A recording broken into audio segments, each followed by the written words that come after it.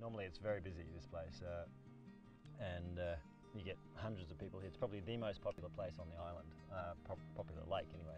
But uh, even when it's really popular, people are a bit like water, you know, they follow the path of least resistance.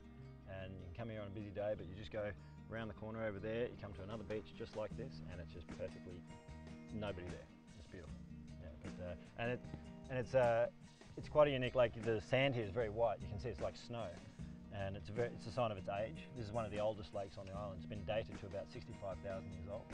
And uh, that's why they, they, say you can clean your jewellery in the sand. It sounds a bit irrational, but like a, uh, uh, it's very fine sand. The older sand gets, the, the finer it becomes. And uh, uh, you just rub it gently on the sand and cleans it. I'm a ranger or tour guide, if you like, uh, for three days a week. And then the rest of the time I'm a photographer. And I do books and postcards and as you see. Yeah. We need a photographer on the road. As, yeah, yeah, you're trying to poach me for your uh, oh, uh, road trip, are you? We'd love to poach you. okay, uh, well, uh, I can do that. Uh, do a deal? Yeah, we can do a deal.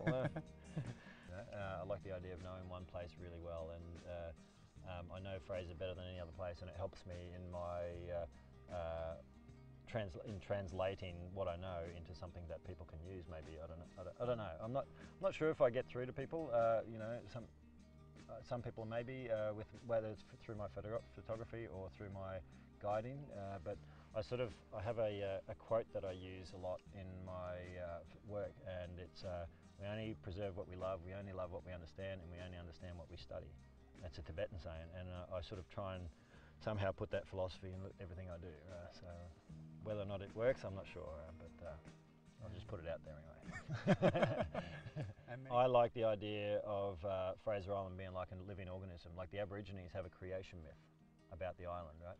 And it's actually the body of a girl, a body of a goddess called K'gari. And uh, she helped uh, a creative spirit called Yindingie create the, the world.